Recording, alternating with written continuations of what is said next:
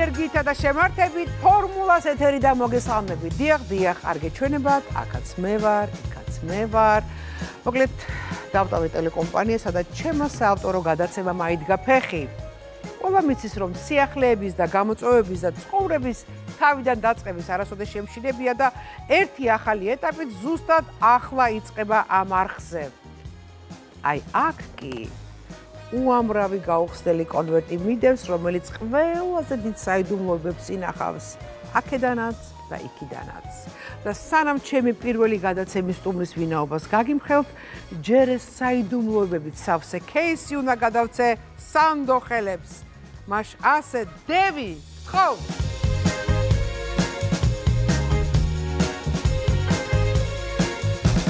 დევი გახლავთ ჩვენი კონვერტის მცველი, აბა შენიცი დევი არ დამღუპო არ დაგეკარგოს. მადლობა. მაშასე ქართული ჟურნალისტიკის ყველაზე ენერგიული და გამბედავი და გამორჩეული ქალი რომელმაც შეძლო და თანაბრად რეალის და როგორც პროფესიაში ასევე პირად ცხოვრებაში. მისი ყოველი ნაბიჯი საუბრის მანერა და ჩაცმის სტილიც კი მუდამ განხილვის საგანია მაშ ასე ნანუკა ჟორჟოლიანი იაპარულავას კონვერტის პირველი სტუმარი ნანუკა კეთილი იყოს ჩემი ფეხი.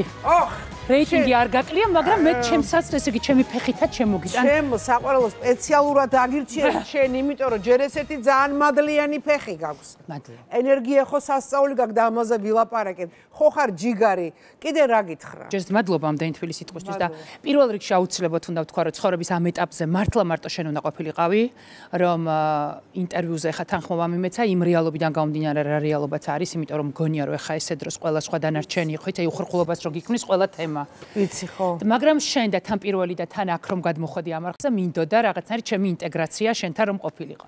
მადლობა. და მეორე, ისაც უ მაინტერესებდა და ეხა სოციალურ ქსელში ამას ვერ კითხავდი, მაგრამ ამ შანს გამოვიყენებ და გკითხავ, თან ჩემთვის შენ იცი რუსთავი ორი რამდენად მნიშვნელოვანი თემაა.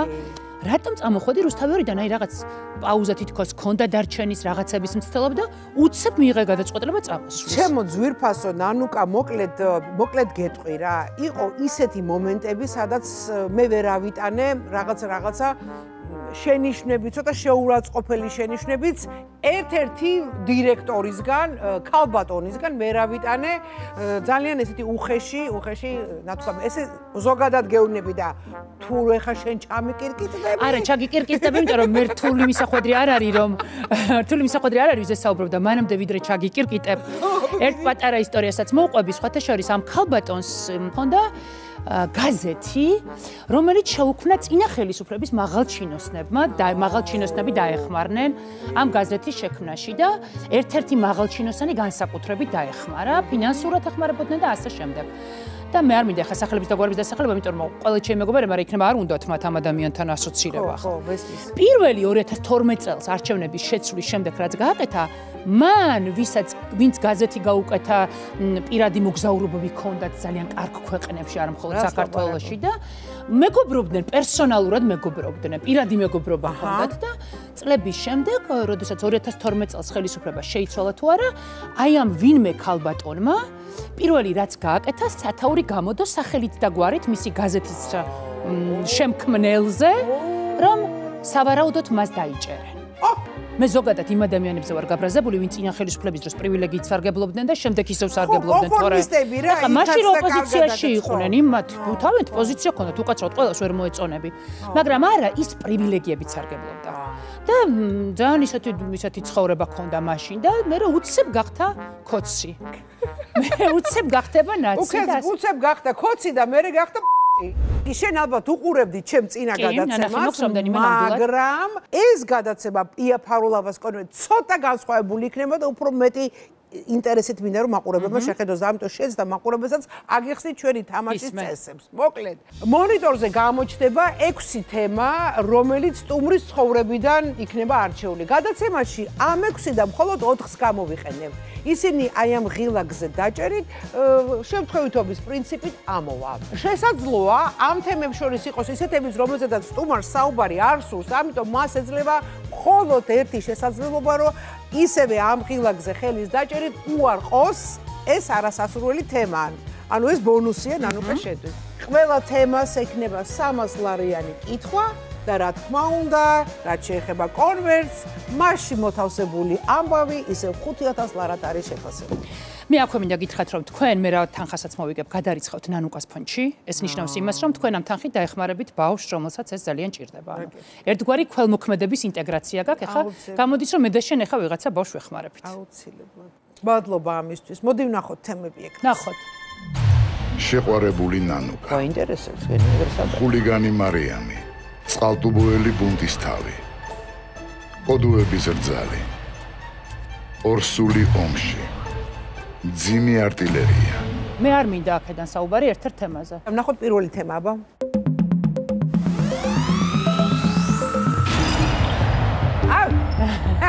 რა გინდა ზუსტად ისეა, საიდანაც უნდა დაგვეწყო. დაგვეწყო, აბა რა.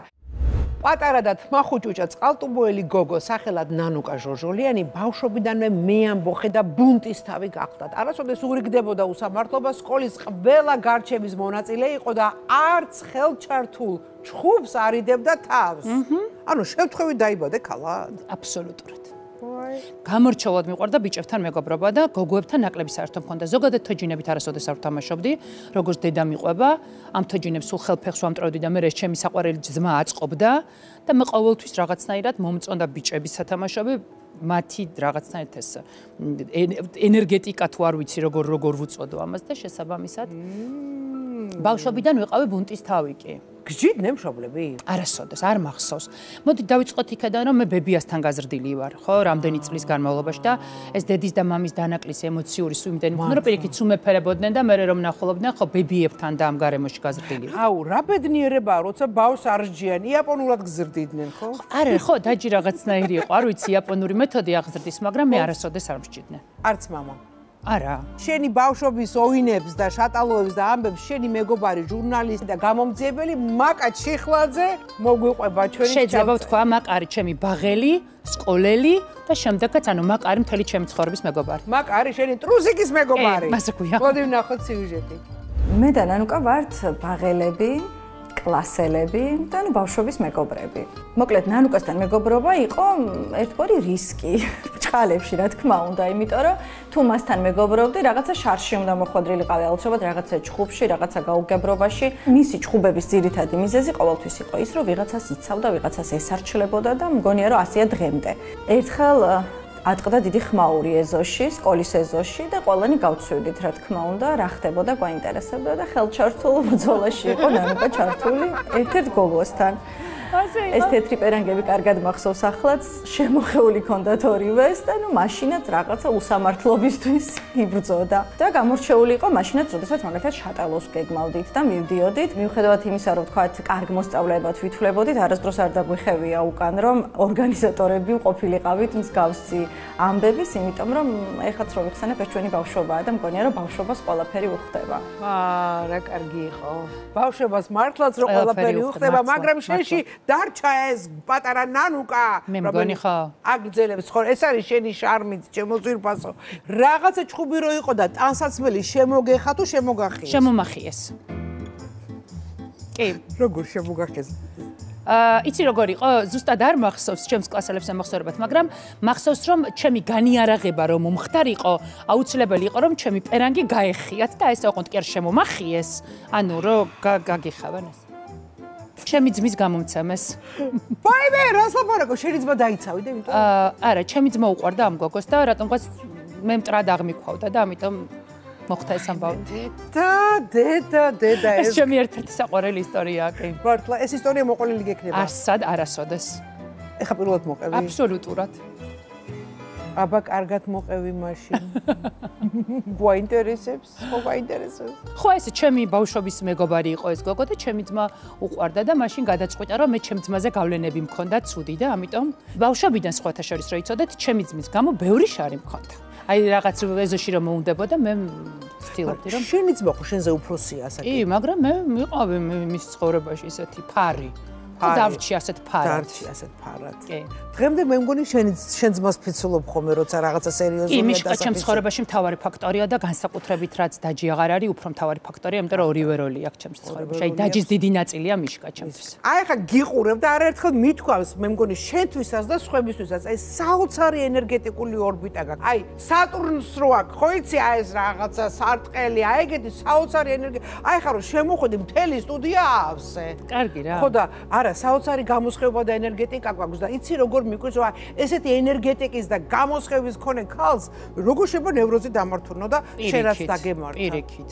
ენერგეტიკა ძალიან ხშირ შემთხვევაში ამას განსაზღვრავს. ზოგადად აი ენერგიები რადგან ახსენე, მე ადამიანებს ესე აღვიქვავ, ხო იცი, აი შენ რო გიყურებ ახლა მიუხედავად იმისა, რომ ძალიან ლამაზი ხარ და შოქში ვარ აფორმაშიც ხარ. მიუხედავად ამისა, მე შენ მაინც ენერგიათ აგღიქვავ. შენ არაერთხელ ისაუბრე შენ პანიკურ შეტევებზე, ვიცი სათავეს საიდანაც იღებს აგვისტოს ომიდან, ხო? ხო, პირველად ვფიქრობ, რომ მაშინ იყო ჩემი პანიკური შეტევა. ამ გადასახედიდან მე რომ ახლა ვიცი რა არის პანიკური შეტევა. მე პირველი პანიკური შეტევა მქონდა აგვისტოს ომში. ნანუკა დადგა პირველი 300 ლარიანი კითხვის დრო, რომელსაც დასვა შენი მეგობარი მაკა ჩიხლაძე. ველოდებ. ნახოთ. ნანუკა აბა შეეცადე გაიხსენო იმ წყალტუბოელი ბიჭის ზედმეტ სახელი, რომელსაც ბავშვობაში უყვარდი და ჩვენი სკოლის წინ შენს გამო ძალიან დიდხანს იდგა ხოლმე. ცუნცულა. ვინც ერქვა ცუნცულა? ეძახდნენ ცუნცულას. ცუნცულა რომელსაც უყვარდი და რომელიც შენ არ გიყვარდა, არ მოგწონდა? არა, მე მგონი მეც მიყვარდა. მე მგონი მეც მიყვარდა, ხა მე თქოს ვერ ვიტყვი. მართლა? კი, მე მგონი ცოტა მოძველ ბიჭო ბიჭი იყო ცუნცულა. არც ის წყალტუბოში ყველა ძველი ბიჭი იყო, მაგრამ ცუნცულა მე მგონი არ იყო მოძველ ბიჭო. მაკა ამბობს რომ იყო, მოდი ნახოთ სწორი პასუხი. კარგი რა, არა თუ არ მახსოვს. აი ნანუკას თაყვანის მცემელი ბიჭის ზედმეტ სახელი არის ცუნცულა. აბსოლუტურად სწორი პასუხია. ეს იყო ცუნცულა, შენ მოიგე 300 ლარი, ცუნცულა, რომელიც შენს ყვარებია. კი, მეც მიყვარდა ესე მახსოვს. კარგი. მოდი ვნახოთ რომელ თემას აირჩევს ჩვენი ღილაკი. მიდი, დააჭირე ღილაკის თემა.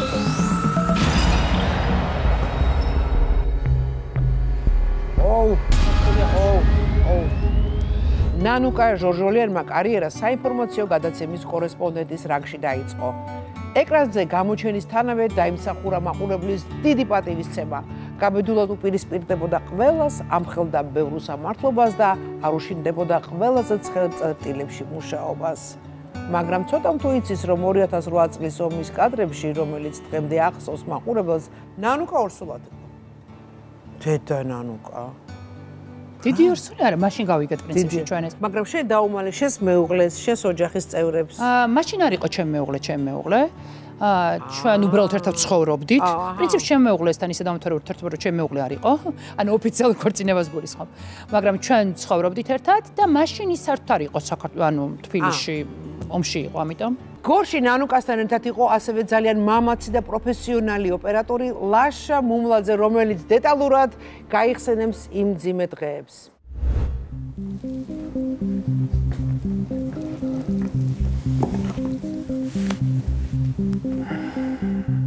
ჩემი და ნანუკას აგვისტოს ომის ისტორია დაიწყო ამ შენობაში, სადაც ვიმყოფებით, ძველი რუსთავი 2 იყო მაშინ. ნიუსრომის კარები ესე იღებოდა რაღაცნაირად და გამოვარდა. მე ნიუსრუმს ანუ კამერებთან ვიდექი და მუმლიკ მეძახის და რა იყო და აეწყე ომში მივდივართ არც დაუფიქრებული ვარ ეგრევე. წავედით რა. დაუმარი მოქმედებები ცხინვალის რეგიონში გვიან ღამით დაწყებული თავდასხმები ქართულ. ნანუკა ჩაჯდა და რატომღაც სუ წინჯდებოდა რა. წესი ეგეთია რომ პირიქით ოპერატორნა ჩაჯდეს წინ, მაგრამ ეს სუ იმაში ვერ ვაგებინებით თანამს.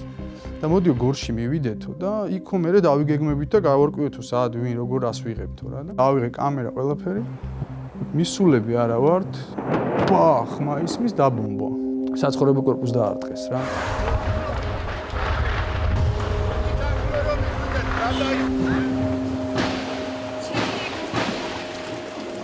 თავჯიქით მანქანებში და გავარდით. მივედი და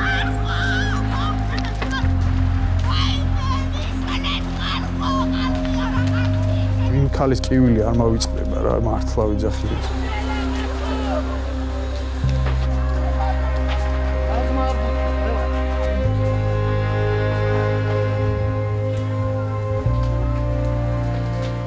ესეთი კადრები არსებობს და არის და სამწუხაროდ ჩემი გადაღებულია და ნამოკასი.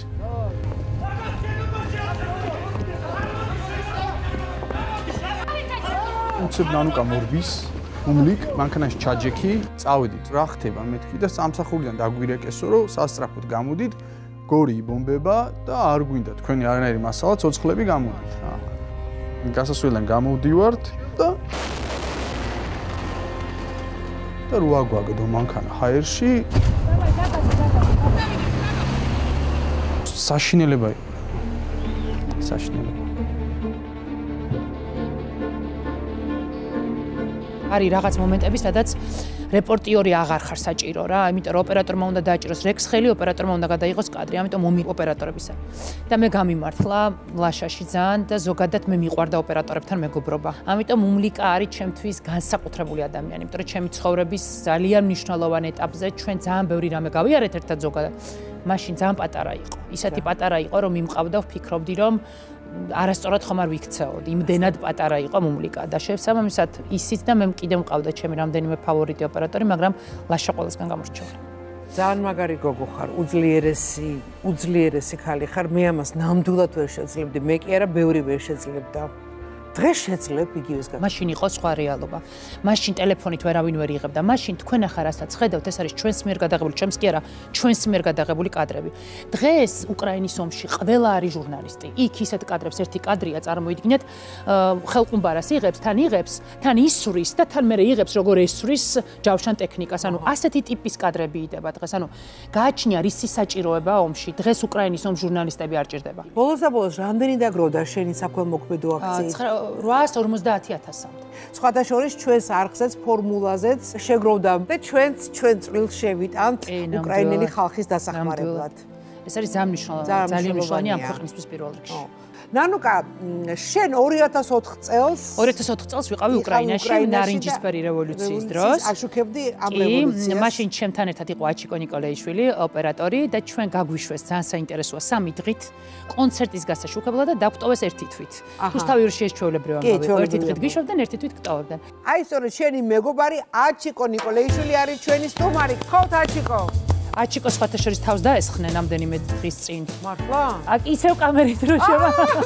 აჩიკო გვინა. თავს დაესხნენ ამდენიმე დღის წინ, შემდეგ მთავარის ოპერატორს და ჟურნალისტს რაღაცა ამ ბოლო დროს ამ ბოლო დროს ძალიან გაგვითამამდნენ და აჩიკო მობრძანდი ფრთხილად ფეხი არ წამოკრა შენ ჭირიმე. როგორ ხარ? დაბრძანდი. როგორ ხარ? აჰ, სახეზე ვიცარი. მოგმართ ხო? გამარჯობა. დიდი მადლობა რომ მოხვედი გადაცემით. თქვენ დიდი მადლობა რომ მომიწვევთ. რამდენი ხანი არ მინახი ხარ? თქვენ თავს დაგესხნენ? კი და თუ შეიძლება რომ არ ვილაპარაკო. არ ვილაპარაკო, არ ვილაპარაკო. კარგი. ხო ხართ კარგად? ახლა კი არ ამიშვა. ჟურნალისტი და ოპერატორი ერთი ფლიანი ორგანიზმია გადაღების დროს. კი, რა თქმა უნდა. როგორია ნანუკა მუშაობის? ნანუკა, ნანუკა მუშაობის დროს და სამსახურის გარეთ, ანუ სამსახურის გარეთ საერთოდ სხვანაირია. საერთოდ. მუშაობაში, მუშაობაში უნდა გააკეთო ის, რაც საჭიროა, იმიტომ რომ ნანუკას მიყვე ცოტა ისეთი ისა რა, ანუ სწრაფად, სწრაფად შენს. სწრაფად, სწრაფად. ჩუბიცის? აბა. ჩუბი რა თქმა რა თქმა უნდა. აი ასე დროს რამდენი საათი გძინავთ დღეღამში? არ გძინავს. ხო, რას ლაპარაკობ? არ გძინავს. ჩემი აზრით ხო ეს იყო დღევანდელი გადასახედიდან სიგიჟე. აი მაგალითად როგორ მძინებია ხოლმე, იცი, მანქანაში უკან სიდენიაზე იძინებ, მე ენაცვლება ის იძინებს. ოღონდ ეს ხდება რამდენიმე საათით, თუ სადღაც ვიღაცას ელოდები რესპონდენტი რო უნდა ეგ რო უსატკავებ. ბჭყალებში ვიღაცა სადღაც. თქვენ გონიათ გაძლება. პირობები როგორი იყო? ჭამა, კვება, ძილი, ხელი წყალი, გეხვეწები გაბა? არ ბანაობდი? რა შეეხება ჭამას და ეს რაღაცებს? ნანუკას мама იყო, ჩამოვიდა. ჩამამა მოჩემი ჩამოვიდა და იყო ყველას პატრონი. ბატონი ზურა ჩამოვიდა. მიშობა რა, იმედზე მუშაობდი რუსთავი ორზე. ყველას პატრონი იყო мама ჩემი. თერმოსებით მოქონდა ცხელი ყავები, საჭმელები, ბიბლი და გადაგვიყვანა სხვაგან და მოკეთ мама ჩემა. აი რა, მაშინ გვიპატრონა ყველას. სტატივი სტარება, ერთხელ ბატონ ზურა სტატივი ეჭირა, მეორე ხელში საჭმელი ეჭირა. ძალიან ყურადღებას გვაქცევდა. კი, ყოველას პატრონი იყო ზური. კარგი, აჩიკო, მოდი დაუსვათ შემდეგი 300 ლარიანი კითხვა ნანუკას. აჩიკო არ წამაგებინო? ხო. ნანუკას თუ ახსოვს ნარინჯისფერი ლენტებით სად შევედით? ვაიმე. აი ის შტაბი რო შეგვეშალა და იანუკოვიჩ რომ მივატეკით. შტაბი კი არა, საერთოდ და თან რომ ჩხუბობდით რატო არ გვიშვებთ ხო? შტაბი კი არა, ქალაქი შეგვეშალა. როგორ სხვაგან მოხვდით, იმიტომ რომ ყველგან იუშენკო იყო მაშინ ანუ ქვეყანას უნდა და ნარინჯისფერ რევოლუცია. და იანუკოვიჩი იყო ყველაზე არაპოპულარული კაცი მაშინ და არსად არ დაედგომებოდა იანუკოვიჩელს მას კი არა. ერთადერთი შენობა ქონდა სადღაც სხვა ქალაქში, სადღაც არ ვიცი, მე მგონი ისინი ვერ აგნებდნენ და ჩვენ რანაირად მივადექით იქ ლაფერა ამბობდა სულ რომ არსებობს იღბალიო ჟურნალისტიკაში და ესეთი იყო მაგალითად ნანუკა ჯორჯოლიანი იმიტომ რომ სადაც ეგ მიდიოდა იქ უბედურება ხდებოდაო. აი რანაირად მოუხდით იქ სადაც იანუკოვიჩის შტაბში კაცმა არის ჩვენ არინჯისფერებით ოღონდ თან ვეჩხუბებით რომ აქ ახლა როგორ არ გვიშვებთ ჩვენ და რა გვითხრეს იანუკო ჩვენი ქედან გამორბოდი გამორბოდი ტემტიჩი როგორი აგრესიულები თან იღებდი კი კი კი რა თქმა უნდა კამერაზე კადრები ვქონდა ჩვენ სადაც მართლა სადაც ხვდებოდით იქ ცემატყება იყო მოკლედ სწორია ხო პასუხი თქვენ მოხდით იანუკოვიჩის ოფისში რა თქმა უნდა სწორი პასუხია შენ მოიგე 300 ლარი ჯამში გაქვს უკვე 600 ლარი ვაი მაგ მოხვედრა რომ აჩიკო ძალიან დიდი მადლობა სტუმრობისთვის ძალიან კარგად მიდიხარ ჩემო ფეხბედნიერო სტუმარო და მოდი ვნახოთ შემდეგი თემა რა იქნება დააჭირე ღილაკს ხელი.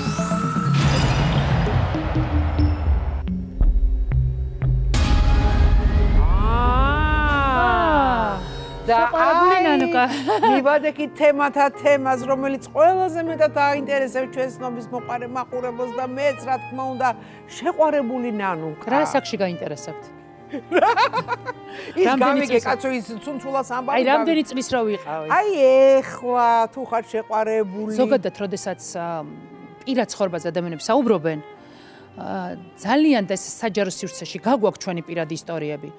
ძალიან ლეგიტიმურად შემდეგ ადამიანები, მათ შორის ვისაც ჩვენ არ ვიცნობთ, უცნობი ადამიანები თავისუფლებას აძლევენ, რომ საკუთარი აზრი გამოთქვან. ამათ თუ პირად ცხოვრებაზე. აი ჩემი ცხოვრების ამ ეტაპზე არავის აზრი არ მაინტერესებს ჩემს პირად ცხოვრებაზე. არავინ აი რას ფიქრობენ, როგორ აფასებენ და ამიტომ რამდენიმე ადამიანის აზრი შეიძლება მაინტერესებდეს, დედა ჩემის მაინტერესებდა და ვიცოდი ჩემი შვილების. ამიტომ ამიტომაც ჩემი პირად ცხოვრების თემა ძალიან დავხურა. აჰა იმიტომ რომ შემდეგ მე ადამიანები თავისუფლებას მისცემენ რომ რაღაც შეფასებები გამიკეთონ და არავის შეფასება არ მინდა. ანუ არ გინდა ამ თემაზე საუბარი, სწორად. იცი როგორ არის ხო? არ მინდა შეფასება. მოკლედ რის თქმა შემიძლია, ძალიან ხშირად ხოლმე მეცინება კომენტარებში რო ხვდები ხოლმე.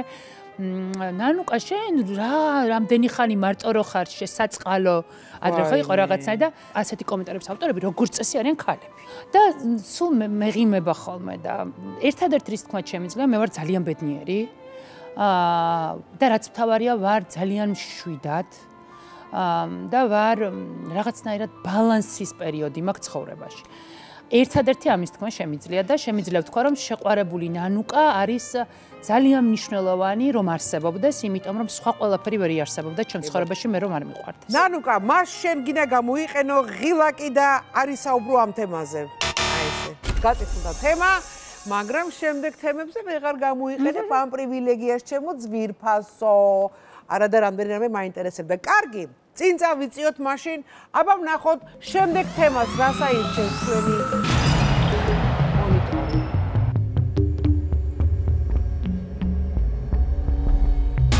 აუ, ძიმე არტილერია. შეიძლება ერთმა სიტყვამ არტილერიამ ნანუკა ჟორჟოლიანის 30 წლიან კარიერას ზიანი მიაყენოს და მოხდა კიდევაც. თუმცა როგორც ტელესივრცეში ასევე პოლიტიკაშიც ის ჯერ კიდევ ძიმე არტილერია თითქება ასეთი ცხარ ჩემოკარგო და მოდი გავახსენოთ მაყურებელს რა მოხდა. კი გავახსენოთ ეს პერიოდი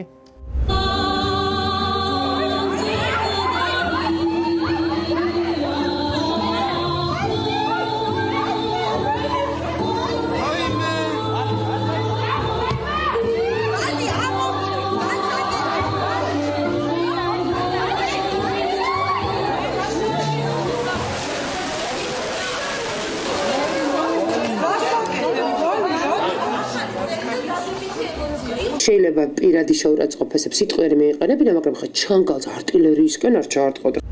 რა შეგრძნება დაგეუფლა, როდესაც ერთმა ქალბატონმა მეორე ქალბატონს ჩანგალი თხლიშა. სრული მოულოდნელობა იყო, მართლა შოკში ჩავარდით. არა მარტო ჩანგალი, არამედ ისეთ ნაცრემი იყო რა, თმით ნათრევი იყო, ხვდები, ანუ ძალიან ცუდი სანახავი იყო რა და ამიტომ ცუდი სანახავი თვალსაზრისით რომ ემოციურად ვერაფერს ვერ შველი, ყველა ქალი კაცი ერთადერთი მახსოვს კადრი იყო ძალიან ისეთი, ყველა ხო შუაში ვდგევართ ვაშტველებთ, კივი, წივი, არა მხოლოდ მე ყველა და ერთ კადრია ანრი ჯოხაძე დგას და ტორს ჯამს. აი ამ საგიჟეთის უკან სამშვიდად გახედავს ესე რა ხდება ჯამს ტორს უყურებდა cat fights კი კარგი და შენ იმდენად იყავი აღელვებული ამ ინტერვიუს დროს, რომ შენ შემთხვევი წამოგზას არა, ეს საერთოდ არის მეორეთხე ხამე არ გძინებია. პოლიციელები ამბები ტელევიზიაში რადგან მოხდა, ჭრილობა ქონდა артиლერიაში დაქოს. შესაბამისად ეს რაღაც ანუ ვერ ეს ამბავი ვერ ჩაიფარცხებოდა. ეხლა სინამდვილეში დღეს როდესაც მეკითხებიან, რომ აი ბულინგის ნაწილში ხო ძალიან დიდია რა ყველა შეცდომაზე ყველა გეგონება რომ აი რაღაცნაირი ძალიან ხშირად ჩასაფრებული ადამიანების რაოდენობა განსაზღვრავს ხოლმე აქტუალობას თემების ხო? მე პრინციპში აი დღეს მართლა ვარ ცხოვრების იმ ეტაპზე რომ არ მაინტერესებს ჩემზე რას წერენ. და ეს გადამატანინა артиლერია ეს იყო იმ ხელა სტრესი ეს იყო მართლა იმ ხალხს სტრესი, იმიტომ რომ ამდენი წელი გიშენებია, გიკეთებია, აი წარმოიდგინე 22 წელი ჟურნალისტიკაში აქტუალობას არ კარგავ. ან 10 წელი აკეთებ შენს დღეს ყველაზე რეიტინგულ გადაცემას.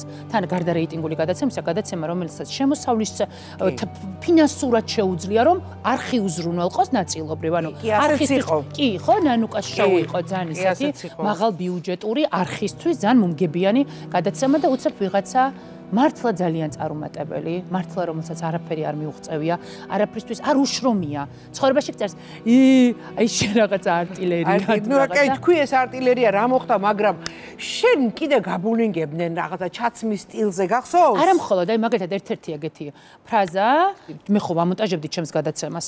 მე ხო ჩემი გადაცემის მემონტაჟეც ვიყავი, არა ტექნიკურად, ანონსაც მე ვაკეთებდი, მიმყავდა და ასე შემდეგ და მეც ხალი ორკესტრი ვიყავი. ხალი ორკესტრი ხო. და შესაბამისად მონტაჟის დროს ეთერში ვერ გავა ვერაფერი, მე თუ იმას არ ვხედავ. თუ საქართველოს ვიყავი და ალბათ ხუთი გადაცემა, როცა მე არ ვყოფილვარ მონტაჟის დროს 10 წლის განმავლობაში. 1-დან 5-მდეო თქვიო ციფრიო, თუ 1-დან 10-მდეო ზუსტად არ, მაგრამ 1-დან 5-მდეო თქვიო და მე ვამბობ 7-ს.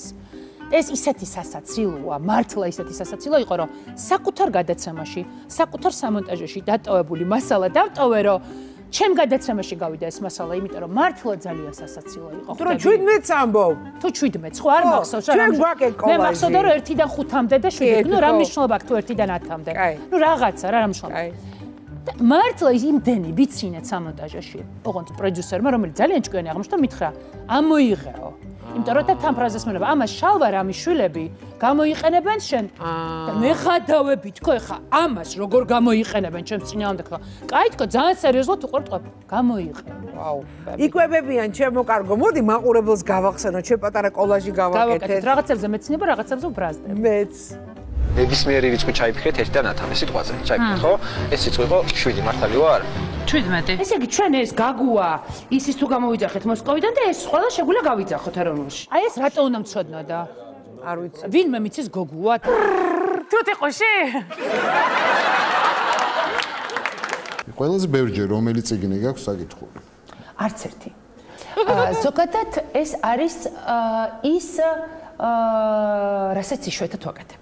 ხო, ყველაზე რა იყო ხა ვერაფერი. ვერ მივხვდი აღარ. მე ვერ მივხვდი. ჩემ მაქვს შეკითხვა ის საზოგადოების რამდენმა პროცენტმა იცის გოგუა თუ გაგუა. და არასპორტულ ჟურნალისტი რატომ და მეორე მე ციგნს ბევრჯერ არ ვკითხულობ და აი ეს ერთხელ კითხულობ და მორჩა. არა, არის რაღაცები, რომ ორჯერ წამიკითხავს. მაგალითად, ეხა ნინო ხარატიშვილის ბრილკას მეორედაც მიუბრუნდი და რაღაცები არის, მაგრამ ყველაზე მეტჯერ რომელი ციგნი გაქვს ვაკითხული, არ ვაკეთებ ამას, ანუ არ ვკითხულობ ხშირად ერთ იგივე ციგნს. მართლა მითხარით, აქ რა არის დასაცინი? არაფერი არ არის დასაცინი. მე სულ ამბობდი, რომ შენ დაამსხვრიე სტერეოტიპი. შენ იმისა, რომ რაც გინდოდა და რისი ხოშიც ქონდა, ისეც მოდა. ბევრი ღიზიანდებოდა ამის გამო. მე მახსოვს ერთი ორი შენი გადაცემა, სადაც თმაც არ კონია დავარსკლი. ეს ბევრია ესეთი, ორი კი არა 20-იც. 20-იც. მე მახსოვს შენი ხათრი ჩამოვივარცხნე ეს კუდიტორი დაუვარცხნელი მოვიდა. მე პირადად ხო, აი ძალიან მომწონს ესეთი გაბედულება, შე დაამსხვრე стереოტიპი, რომ წავყარი უნდა იყოს ესეთი და მოწესრიგებული თუ რაღაცა და და და და და მე მაგალითად თელიკვირა რომ ემზადები რომ აქ დავждე ამ ეთერში და ასე შემდეგ. ო ნახე როგორი სხვაობაა, შენ უნდა ემზადებოდა ერთი კვირა, იმიტომ რომ შენ ხარ ლამაზი ქალის სიმბოლო ამ ქვეყანაში და შესაბამისად შენ არ გაქვს უფლება რომ ასე არ გამოიყურება და მე ვარ ჟურნალისტი ხო? მე ვარ რეპორტიორი და ამიტომ ყოველთვის უყურებ რომ ადამიანი მე არ უნდა აღმიქვავდეს ჩემი რაღაცა დეტალებით ან ვიზუალური მხარით მაგრამ შენ როცა გამოიყურები კარგად შენ ძალიან ძალიან შორის ამ ბოლო დროს ეს ჩემს ცხოვრებაში არის პრიორიტეტი. მაგალითად რაღაცების პრეზენტაციებზე პიჟამოებით აღარ დავდივარ ეს უკვე ეს ეს უპირატესობა ცხოვრებაში მაქვს რომ შემიძლია რომ ტონალური წავიშვა ადრე ამას აღარ არ ვაკეთებდი და რაღაც ასაკმა მომიტანა ის რომ რაღაცები უკვე არის აუცილებელი. ფაქტია რომ ნანუკა ჟორჟოლიანი ეს უძლიერესი ქალის არქეტიპი ჩამოყალიბდა. ქალი რომელიც ძალიან დიდ ენერგიას ასხივებს და რომლის მოსყიდვაც და რომლის შანტაჟიც ვერავინ ვერ გაბედა ხო, არ მქონია. არ მქონია. არ მქონია. იმიტომ რომ იცი ამ გულწრფელად არავის არ დაუშანტაჟები ვარ და ჩემი მოსყიდვაც არავის არ უცდი. ახლა ზოგადად მგონია რომ ადამიანები რომლებიც ვიღაცების მოსყიდვას და შეშინებას მიდიან, დაახლოებით ფსიქოლოგიაც იციან ადამიანის, ხო ხვდებით რას გიცნე? ჩემი ხო მე მგონია რომ ახლა თუმცა ნანუკა თუმცა დაშინების მცდელობა ყოფილა. აი იყო. იყო ობიექტურად იყო, ეს იყო 2000-იანი წლები, როდესაც ამ ქვეყანაში ჯერ კიდევ წესრიგს და დღის წესრიგს ქმნიდნენ კანონიერი ქურდები და კრიმინალები. მე მაშინ რუსთავი სერვერში მუშაობდი და მუშაობდი კანონიერ ქურდების თემაზე, კრიმინალებზე, კრიმინალურ ავტორიტეტებზე, ანუ კრიმინალურ სფეროზე მუშაობდი და შესაბამისად მაშინ მქონდა ეს შემოთვლები, გაჩერებები და ერთხელ მახსოვს ესეთი ფაქტი იყო რუსთავიერში შემოვიდნენ და მარტო ჩემი პირადი ნივთები გაიტანეს ის ძალიან ცუდი სანახავი იყო სხვათა შორის. ჩვენ ხო ეს ვიდეო კამერები ყველგან ეყენა მაშინ იმ შენობაში სადაც ფორმულა. ხო და მალევე რამდენიმე დღეში მე დამხვდნენ ნედა ნათია ზამბახიძე ვიყავით ნათია სახში დავტოვე მახსოვს და სახში დამხვდნენ შეიარაღებული ბიჭი, ორი ბიჭი, ისეთი იარაღით და წამართვეს პირადი ნივთები. სადარბაზოში. სახლის სადარბაზოში. შეგეშინდა? ძალიან შემაში. მე მარტო მახსოვს სადარბაზოში ვერ შევდიოდი ძალიან დიდხანს, მაგრამ ამას ხელი არ შეუშლია ჩემს კარიერაში. უბრალოდ არ შეუშლია იმაში, რაც მაშინ ვაკეთებდი, ანუ არაერთი რეპორტაჟი გამიკეთებია, მას შემდეგაც მათზე. ამიტომ ყოველ შემთხვევაში ადამიანურად მე შემეშდა, მაგრამ ეს მე მაშინ არ მეტყობოდა. ო, რა საინტერესოა. კარგი. ნანუკა, მოდი ვნახოთ ამ თემის 300 ლარიანი კითხვა. აბა. ვისი დაკვეთით მოხდა შენზე აი ეს თავდასხმა? გაგვიმხილეს 300 ლარის სანაცვლოდ. აა, კრიმინალური ავტორიტეტების. ესენი იყვნენ კანონიერი ქურდები, რომლებიც მაშინ იყვნენ მეშვიდე დაწესებულებაში, მოთავსებულები, რომლითაც მე ვაკეთებდი რეპორტაჟს. და რა უნდათ? ზოგადად უნდათ არა მხოლოდ ისინი მისი მეუღლების გვებრძოდნენ მაშინ, ზოგადად უნდათ რომ არ გაგვეშუქებინა მათი აი ეს რაღაც კონკრეტული ის ამბავი, რაც მაშინ აქტუალური იყო. აბსოლუტურად სწორი პასუხია ნანუკა მოიგოს 60 ლარი და ჯამში უკვე აქვს 900 ლარი. წინ წავიწიოთ აბა ნანუკა შემდეგი თემა ვნახოთ. კოდუების ზალი ხულიგანი მარია. აბა რომელი ამოვა? ვეღარ დაარეჯექტებ, ყოიცი. შენ კიგი ვიცი რომ ხულიგანი მარიამი გირჩევნია. ა ამოვიდა კიდევაც. აუ როგორ მინდოდა კოდუებზე საუბარი? იმდენი კითხვა მქონდა არ არსებობს კოდუების რძალი ეს თეორიაში ბუნებაში არ არსებობდა და არც ახლა არსებობს და ამიტომ არა ხო მართალი ხარ შენ ხელი ხო არ ქონდა მე არასოდეს არა ისედაც არასოდეს არ ყოფილა რძალი რაღაცა მგონია რომ ძლობა სხვა ურთიერთობებით გამოიხატება. ამიტომ იმ თემაზე მაინც ვერ ვისაუბრებდი ამიტომ ჯობია ხულიგანი მარიამი მარიამ გეგუჩაძე ეს ცალკე მდგომი სახელი და გვარია რომელმაც არაერთხელ დაამტკიცა რომ ის არა მხოლოდ დედამისის შვილი არამედ პირიქით თამადბად შეიძლება ითქვა თავს რომ ნანუკა ჟორჟოლიანია მარიამის დედა.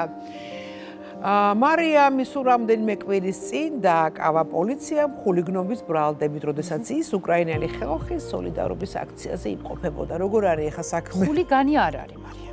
არ არის ხულიგანი. რა ძალიან არ არის. მარიამი არის ძალიან ისეთი შვიდი დინჯი. მარიამი ძალიან ბევრს ფიქრობს გადაწყვეტილების მიღების დროს. მარიამი არის ძალიან ისეთი სტაბილური ემოციების პატრონი. მარიამის წყობილებიდან გამოყვანა არის ძალიან რთული. და მარიამი არის სინამდვილეში ადამიანი, რომელიც ძალიან ხშირად ხულიგან ნანუკას აჭერებს. ესე უჭერს და ეუბნება რომ დედა ეხა არ გინდა ძალიან გქო. გეხვეწები გაჭერდა. დედა ეხლა არ გინდა. ესე იგი გაკონტროლეს ცოტათი, კაი გაგებით. რა რეაქცია ქონდა როდესაც მარიამი დააკავეს? მაგრამ რამოდენიმე სათირო პოლიციაში იყო შენ ამ დროს რასაკეთებდი? არა, ფერს მე სამსახურში ვიყავი და მუშაობდი. ძედა? ხო. მე მარიამ ძალიან ვენდობი.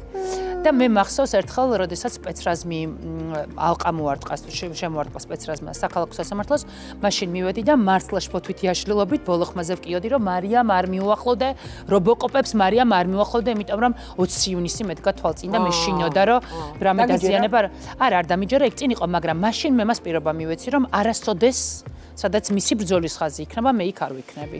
იმიტომ რომ მოხდები მომენტალურად დედა და ისტორიჩკა. ამიტომ იქ სადაც მარიამი დაკითხვაზეა, სადაც მარიამი აქციაზეა, მე იქ არ ვარ.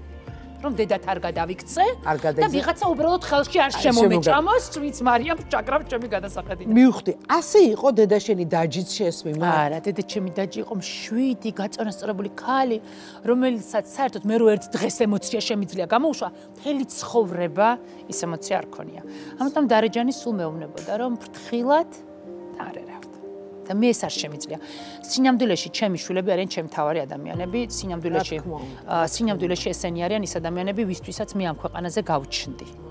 მე ამ ადამიანებისთვის მოვედი.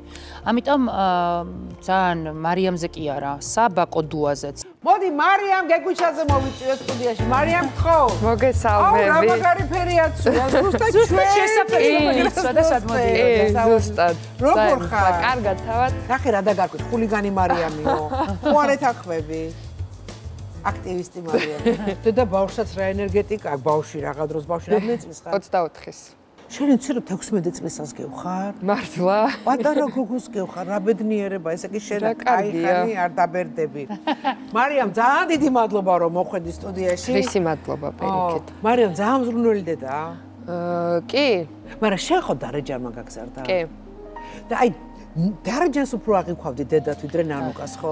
კი, დედური, სუფთა დედური ინსტინქტები, ანუ ნანუკას მიმართ სხვა ინსტინქტები მაქვს საერთოდ და სხვა განსხვავებული დამოკიდებულება გქონდა, ანუ ის რაღაც აი დედა ფიგურა, რომელიც რაღაცა შეიძლება უმალავ რაღაცა შეიძლება, ანუ ასაკობრივი სხვაობა გაქვთ, აი ამისი აღქმა ნანუკასთან არ მქონია, ანუ თანასწორი იყო სუ. მეგობრები ვიყავ. და ნანუკასო დედა ერთვება გიკვირს ხოლმე? არა, სხვათა შორის არა. სუ ეგრე მახსოვს ბავშვობაში რაღაცა ერთ-ერთი ისეთ მნიშვნელოვანი ეპიზოდი იყო ალბათ ის რომ რაც მასწავლებლები რომ ბავშვებს ეჭხუბებიან მაგრამ სულ ხომ შობელი ბავშვეჭხუბება ხშირ შემთხვევაში სამწუხაროდ და აი ჩემ შემთხვევაში არასდროს არ იყო ეგრე ანუ ვუყვებოდი რომ აი მასწავლებელმა მიყვირა ან ცუდად მომმართა ან რაღაც ანუ არ აინტერესებდა მიზეზი ანუ თუ ცუდად მომმართავსო. და შე თუ ხარ ნანუკას მიმართ დედობრივად განწყობილი. კი. მარიამს აქვს რაღაცნაირი რაღაც როგა დამცავი ჟილეტი აცვია, მაშინვე დამცავს ისრომს, როდესაც ჩათulis რომ საზოგადოება შეიძლება ჩემს მიმართ იყოს მკაცრი ან და განსაკუთრებით მას აინტერესებს მისი სეგმენტი. მარიამს აინტერესებს მე ვამბობ ხოლმე რომ შენი ბაბლი, ანუ მისი ბაბლი შემთხვევით რაღაცა სწორად აღიქვას თუ არ აღიქვას. მარიამი უკვე ამერიკაში უნივერსიტეტში სწავლობდა და მითხრა ეგეთი რამ რომ რაღაცაზე მოთო ბულინგი, ბულინგი, ბულინგი დაიწყოს და ეს არ ვიცოდი ეს ბულინგი მანამდე და მე შვილო მე მეუთხარი შენ როდესმე ეს ბულინგი გაგიგია მაგრამ შენ როდესმე გაბუხეთ აი რაღაც ასაკში შესული ბედები რა შენ შვილო როდესმე გაბულინგებდნენ სკოლაში და მეუბნებოდა რომ და უცებ მითხრა რომ იციო რა ალბათო კიო რა თქმა უნდა დაბულინგებული ვარო მაგრამ იციო მე რა მეხმარებოდაო და რა თქო? აი სულ მქონდა იმ შეგრძნებაო რომ შენო დაგირეკავდიო და მოხვიდოდიო და ჩემ გვერდზე იქნება ეს ისე მომეწონა მაშინ რომ მითხრა რომ მას შემდეგ ეს დამამახსოვრდა საბაზე უკვე გამომადგა და საბას ვენებდი საბა შენ თუ ვინმე გაგაბრაზე სულ ვეუბნები არა აქ მშობა მასწავლებელია დი რომ იცოდე რომ მე მოვალ ანუ მე მინდა რომ ჩემაშულებმა იცოდნენ. აუ რა მაგარია. თელი ცხოვრება იცოდნენ რამდენი წლისაც არ იქნებიან რომ როგორც კი მათ გააბრაზებენ მე იქ მივალ. აი ეს ამის განცდა უნდა ქონდეს. მიდის. და მე რას აკეთებს იქ რომ მიდის? აი, აი მე. დაბულინგებაზე გამახსენდა რა დეპერსონალიზაცია რა მოიგონეთ ხალხო? დეპერსონალიზაცია აქო მარიამსო და სიტყვები რო დაგავიწყე ეთერში. აი ეს ნუ მოყვე. ხო და რა? მე ხო ჩემზე ზოგადად ზოგადად მარიამს ქონდა ეს ძალიან ფსიქოლოგიური სტრესი, რადგან თვითონ საჯარო თქო, საუბარი ჩემამდე დაემართა მარიამს ეს, როდესაც ამერიკაში წავიდა, ურთულესი პანიკური შეტევები გაიარა მარიამს უფრო რთული ქონდა მაშინ და მოკეთ ეგ ეტაპები ახლა გავერთ, მაგას ეს აღარ მინდა რომ დეტალურად შევახოთ და პერიოდულად სტრესი უნვითარდება ისე ეს რაღაცნაირად ისევ ეს უბიძგებს ხოლმე და ეს წამით ხდება მაგრამ შენ ვისაც ეს გემართება გგონია რომ უსასრულოდ გრძელდება როდესაც წამიერად ვერ იგებს ათხარ და უცებ სანამ აკრეფვას იწყებ, ახლა ის ვისაც ქონია მიხვდება, რასაც სანამ უკან ბრუნდები, მოკლედ ვერ ვერ იგებს სადი ხარ და ისე აირია ეთერში, პირდაპირ ეთერში და მე მივხვდი რომ მარიამს პანიკა უკვე პრობლემა აქვს. რეჟისორს ვონები რომ ეთერიდან გამოვიდეთ. აა აქ მაგალითად ავტონომ თვლიან რომ ხდება ამ რაღაცე აფხაზეთის ავტონომიური რესპუბლიკა აქედან გამომდინარე ძალიან ცუდად იყო. იმის გარდა რომ მე ეთერიში რაც მოხდა, მე მოკლედ იქ ძალიან ცუდად გა. ხედავ პოზიტივიზე შალვა რამიშუმა ეს გააშარჟა და მარიამს და პირველად მაშინ მახსოვს, აი ესე გავიფიქრე, გავიფიქრე, ანუ არ მახსოვს პუტინის გარდა ვისთვის მისურვებია გულწრფელად ცუდი. მართლა არ მახსოვს რა. მე მინდა შალვა რამიშუმა იცოდეს, რომ მე მას უსურვე ზუსტად იგივე, რაც ჩემ შულს ქონდა მაშინ სტუდიაში, რაც მარიამს დაემართა, იმიტომ რომ ჩემ შულს დასწინა ამ მდგომარეობის გამო. და ყველას იგივეს ვისურვებ, ვინც კონკრეტულად იმ იმ ვიდეოს გამო მარიამს დასცინის. არ დაემართა მე? არ ვიცი დაემართა. თუ არა ზოგადად გქონია რომ შავა შალვა დეპერსონალიზაციით დაიბადა.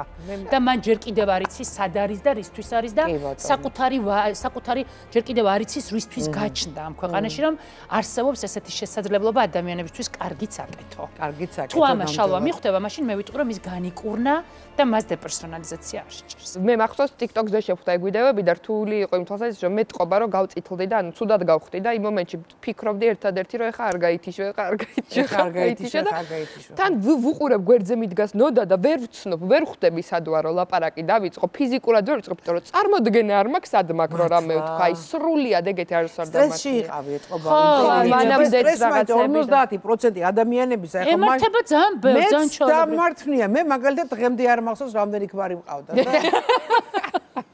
ესეთი დეპერსონალიზაცია მეც სახელები მავიწყდება. რამოდენობა მავიწყდება და დედას ფიცა ვარ ხანდახან მავიწყდება რომელი წელია ოღონდაც არ ვიცი ალბათ იმიტომ რომ წლებს რო არ ვითვლი. მარიამ შენნა დასვა შემდეგი 300 ლარიანი კითხვა გთხოვთ? გაიხსენე შემთხვევა როდესაც ჩვენ არ იმყოფებოდი ამ ქვეყანაში. აჰა როდესაც მე რაღაც დამემართა და შენ იგრძენი ბათუმში რა იყო? ბათუმში იყავი და რა იყო? ბათუმში იყო. მოხდა საავად მოყოფაში. დედაჩემს ყავს აყვანილი. და ურეკავ დედაჩემს და ვეუბნები რომ რა ჭირს მარიამს. დედაჩემ მონება მარიამს არაფერი არ ჭირს. და ისტერიკაში ვარდები, სრულ ისტერიკაში და ვეუბნები რომ რა ჭირს მარიამს და საბოლოო ჯამში ვეუბნები რომ ისეთი შეგრძნება მქონდა თქო რომ ხელები მტკიოდა თქო დაჯის დაჯია მასყობოდა გაოგნებული. უცებ თქო აი მარიამზე ფიქრი რომ დავიწყე თქო ის საშინლად მტკიოდა ხელები თქო და მარიამა ხელი გადაიგლიჯა. დაადეს უამრავი ნაკერი და დედაჩემა მაშინ დაიჯერა პირველად რომ მე ჩემ და მარიამ შორის უფრო მეტი კავშირი იყო ვიდრე მასა და მარიამ შორის და დამნებდა. აბა რა მაგარი ისტორია ასე იყო. სიმართლეა. შენ მოიგე 300 ლარი და შენ შენი ფონდისთვის უკვე გაქვს 1200 ლარი. ძალიან დიდი მადლობა რომ წარმატებებს გისურვებ და ასე გააგრძელე ჩემო გოგო ასე გააგრძელე. მადლობა ძალიან დიდი. და აი ჩვენ დაუბრუნდით და ვაგრძელებთ საუბარს ნანუკა ჟორჟოლიანთან. ახლა კი ნანუკა ჩვენს ეთერში დგება კონვერტის დრო. და კონვერტს ჩვენი კონვერტის მცველი დევი შემოიტანს. დევი გთხოვთ.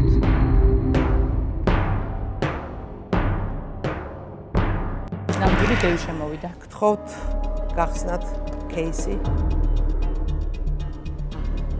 ნანუკა წაიკითხე კონვერტი.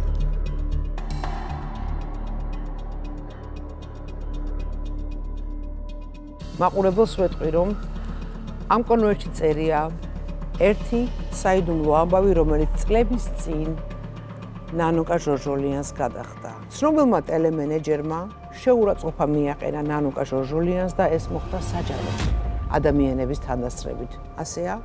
კი. ეთერში მოხდა. სატელევიზიო ეთერში. ნანუკა 5000 ლარის სანაცვლოდ აპირებ თუ არა რომ მოყვე რა მოხდა და ვინ იყო ეს ადამიანი, ვინც საჯაროდ მოგაყენა შეურაცხყოფა. დიდი სიამოვნები წავიღებდი 5000 ლარს ჩემი ფონდისთვის, მაგრამ ესა და მე დღეს ცოცხალი აღარ არის. აქედან გამომდინარე ვფიქრობ, რომ 50000 ლარიც არ ღირს ახლა იმის ფასად, რომ მე გარდაცულ ადამიანზე მოუყვე ისტორია. და ვფიქრობ, რომ არ იქნება ჩემი მხრიდან ეს სწორი და რატომ თან კიდევ უნდა ვთქვა აუცილებლად, რომ ამ ადამიანის დამსახურებაა, რომ დღეს თუ მედია სივრცე არის ძალიან ძლიერი, დღეს თუ მედია სივრცე ამ ადამიანს ქონდა სამჭედლო, ამ ჟურნალისტების სამჭედლო და მან შექმნა ძალიან ბევრი კარგი ჟურნალისტი და მე თუ რამე ვიცი ჟურნალისტიკაში, სწორედ მისი ტელევიზიის დამსახურება. კარგი, ეს ყველაფერი ვიცი, მაგრამ მე ისიც ვიცი, რომ мама შენი ჩაერი ამ ამბავში. ხო, мама გაბრაზდა, იმიტომ რომ мама და ეს ადამიანი ძალიან ახლობლობდნენ. უი რა ძალიან მჭიდრო ურთიერთობა ჰქონდათ, ეს არ იყო უცნობია და აი კარგი ახლობლისგან რო გეწინება. და ხო, მოხდა მე რაღაც გაურკვევლობები. ნაკლები მინდა ამ თემაზე ვისაუბრო, იმიტომ რომ ეს ადამიანი არ არის გარცოცხალი დღეს. თუ ოდეს მე გადაწყვიტავ რომ ეს ამბავი მოყვე კონვერტი შეინახება ჩემთან და გამოგებინე. გელოთები. მე ძალიან გულშემატკივრობ ამ არხს და შენ მთელი ცხოვრება გულშემატკივრობ და სხვათა შორის წეღანო თქვით ენერგიებზე და აურებზე რო ვისაუბრეთ, ამით მინდოდა დაწყება, მაგრამ დავამთავრებ ამით. აა, როდესაც ვამბობდი, რომ აი ადამიანებს ენერგიებით აღვიქვა, შენ ხარ ისეთ ერთ-ერთი ადამიანი, რომელსაც მე აღვიქვა ენერგია და ამიტომ ჩემი განსაკუთრებული დამოკიდებულება შენ იცი, ყოველთვის იყო შენს მიმართ გამორჩევა. დიდი მადლობა ჩემო ძურფასო. დიდი მადლობა. მე ზუსტად ერთი კვირით გემშვიდობები. შემდეგ გადაცემაში ნახავთ. იტანი რომელმაც სოფლიო ჰაერში აწია. სოფლიოში ყველაზე ძლიერი ადამიანი, ლაშა ტალახაძე, ისაუბრებს აქამდე ტაბუ დადებულ თემებზე. ო ლაშა. არ გაჭირო ხილოცხელი. რისი გეშინია ბავშვობიდან? რა თანხის სანაცვლო შემოგთავაზეს სამშობლოს ვიტოვება? ნემს გაგიკეთებენ თუ ფიციფისი? აა ფიციფისი იქნება. აკუის დროსო გაზების ძრებათო.